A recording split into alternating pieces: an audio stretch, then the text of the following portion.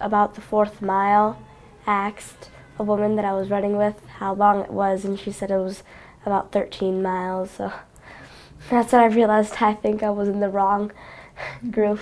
Turns out Rodriguez was 15 minutes early for the 5K race, but four miles into the half marathon, it was decision time for the 12 year old. She just remembered what she had learned during the 5K training to keep running. I kept going. I knew after a while that I was in the half marathon and I was I was like I'm going to I'm going to finish this. I'm going to keep going. Even when her legs started hurting around the halfway point, Rodriguez didn't stop. Meanwhile, her mother, Brenda Lee Espada, was waiting for her at the 5K finish line.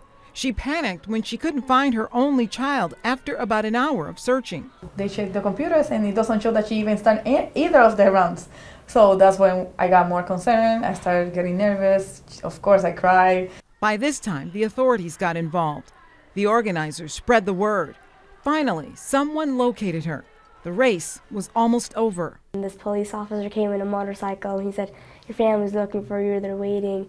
And I was like, I know, but I'm gonna keep going. Rodriguez was so excited, she sprinted the rest of the way. I don't know how to explain it, but it was like time froze. I felt like I, I don't know, like I was on top of the world. I just wanna hug her and not let her go. Like, it was awesome. It was a big surprise for us.